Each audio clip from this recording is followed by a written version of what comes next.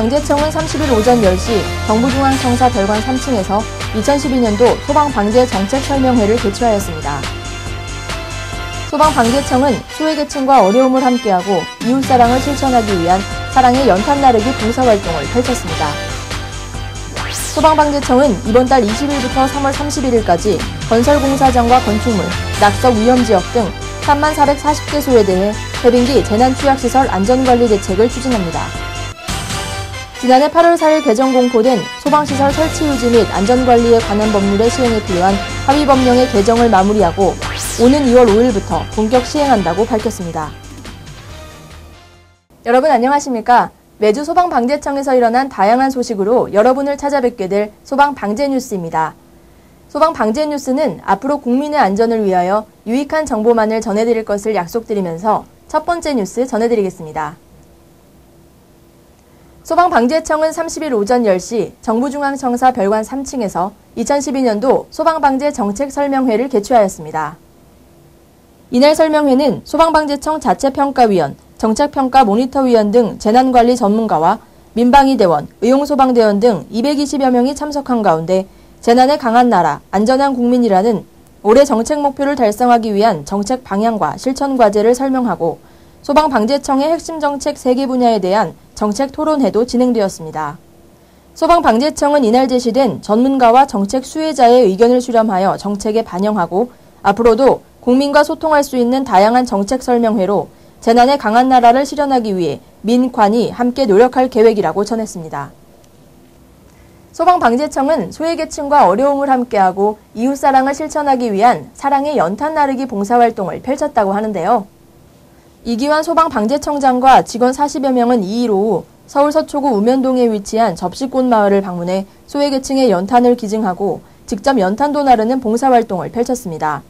그 매년마다 봉사자가 늘어나서 지금은 한 4만 5천 명 정도가 이번 봉사활동은 사단법인 따뜻한 한반도 사랑의 연탄 나눔의 주관으로 진행되었는데요. 이번 기회를 통해 봉사의 의미를 되새기며 시민들에게 한 발 더 다가가는 의미 있는 시간이 되었다고 전했습니다. 소방방재청은 이번 달 20일부터 3월 31일까지 건설 공사장과 건축물, 낙석 위험 지역 등 3만 440개소에 대해 해빙기 재난취약시설 안전관리 대책을 추진합니다.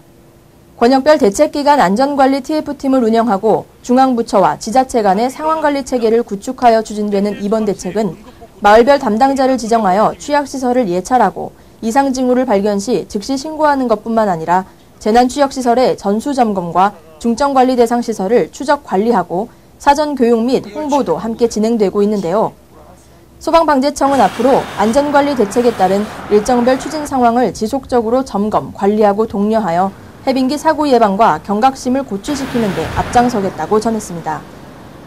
소방방재청은 지난해 개정 공포된 소방시설 설치 유지 및 안전관리에 관한 법률의 시행에 필요한 하위 법령의 개정을 마무리하고 오는 2월 5일부터 본격 시행한다고 밝혔습니다. 부산 우신골드 스위트 화재를 계기로 소방시설 설치 기준을 더욱 강화하였으며 기존 방화관리자의 명칭을 소방안전관리자로 개선하여 소방안전에 대한 총괄 관리자로서의 역할을 다하게 됩니다. 30층 이상 고층 건축물과 20만 제곱미터 이상의 대형 건축물에 대해서는 안전관리 실무 능력을 강화하기 위하여 특급 소방안전관리자 선임 자격 제도를 신설하였으며 이처럼 현재 소방관서에서 실시하는 소방검사가 소방특별조사체제로 전환되면서 건축물 관계인 중심의 안전관리 체계가 강화됩니다. 또한 지난 2010년 10월에 발생한 포항 인덕 요양원 화재 사고와 같은 후진적 사고를 예방하기 위하여 노인, 장애인 등 피난 취약계층이 생활하는 노유자 시설의 소방시설 설치 기준이 대폭 강화될 전망입니다. 이번 제도 개편은 건축물의 소방 관리 업무가 소방관서 주도의 규제 중심에서 건축주 중심의 자율 안전관리 체제로 전환되는 것이 중점입니다. 소방방재청은 국민들의 자율안전관리 의식을 향상시킬 수 있는 계기가 될 것으로 기대하며 새로 도입되는 정책이 잘 정착될 수 있도록 대국민 홍보 등에 최선을 다할 것이라고 전했습니다.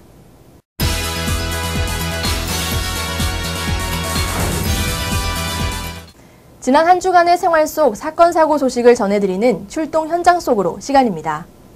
30일 새벽 5시 40분에는 부산 수영구 남천동의 방송국 앞 삼거리에서 교통사고가 있었습니다. 32살 정모 씨가 몰던 승용차가 보도블록을 들이받고 전복된 사고였는데요. 구조대원은 고통을 호소하는 정 씨를 신속하게 구조하여 병원으로 이송했습니다.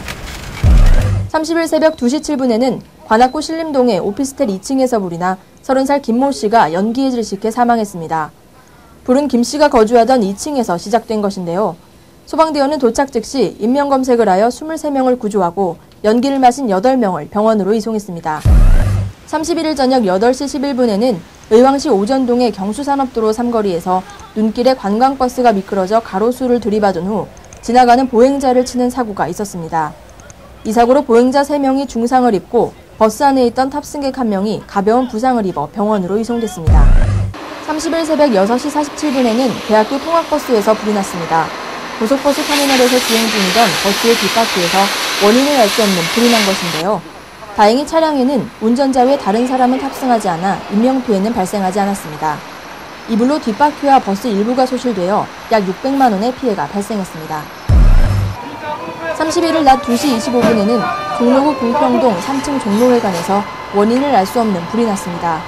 소방대원의 신속한 출동으로 불은 10분여 만에 진화되었지만 건물 내에 있던 10명이 연기를 마셔 병원으로 이송됐는데요. 이 불로 건물 66제곱미터 중 50제곱미터가 불에 타고 사무 집기류 등이 소실됐습니다. 31일 저녁 5시 27분경에는 서울 중구 북창동의 한 유흥주점에서 불이 나 9천만 원의 재산 피해가 발생했습니다. 현재 소방대원은 주점 3층 천장 부근에서 불이 시작된 것으로 보고 정확한 화재 원인을 조사 중에 있는데요.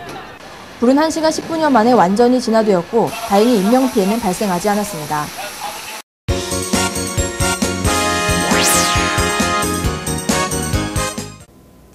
날씨로 보는 생활안전 시간입니다. 한 주간의 날씨로 미루어 조기의 사고를 예방해드리는 소방방재청만의 날씨 소개 코너인데요.